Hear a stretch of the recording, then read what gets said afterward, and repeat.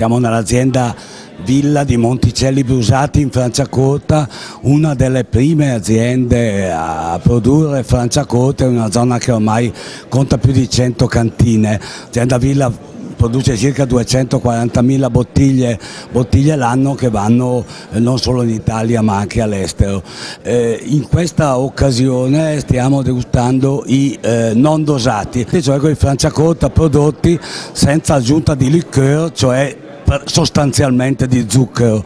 Rappresentano una doppia sfida per questa azienda ma anche per tutta la zona. Una, sfida, una prima sfida è quella di portare il, le bollicine in tavola a tutto pasto, non solo confinate all'aperitivo ma accompagnate non solo con piatti di pesce ma anche di carne.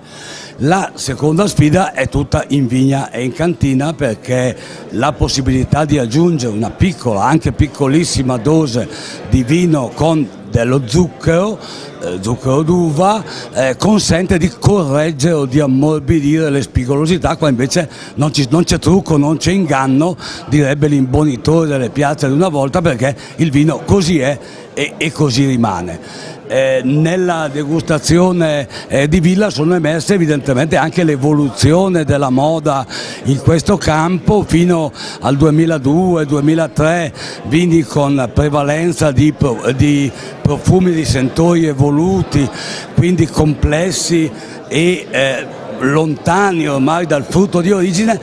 nel 2006 incomincia come una nuova stagione in cui anche il millesimato invecchiato, eh, in, affinato, anzi meglio in legno, conserva ancora i sentori dei frutti originali, la freschezza del pompelmo, dei frutti tropicali e quindi ha una nuova stagione in realtà tutta da riscoprire.